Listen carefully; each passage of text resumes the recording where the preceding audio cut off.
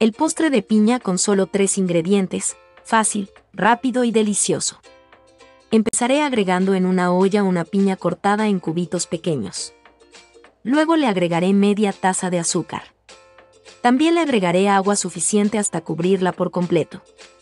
Ahora lo mezclaré hasta disolver por completo el azúcar. Mi gente, este postre de piña es súper fácil de hacer y queda muy delicioso. Estoy bien segura que a todos les gustará el resultado.